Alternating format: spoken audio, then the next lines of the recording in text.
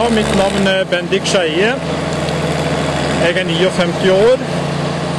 Jeg er skogbruksleder i Jakkdal og Bø. Og har arbeidet i Skogeierforeningen siden 1974. Jeg vil gjerne ha kontakt med deg som skogeier for å gi veiledning og råd når det gjelder eh, skogsdrift, eh, tynning, ungskogpleie og planting. Jeg driver sjøl et gardsbruk i Hjartdal.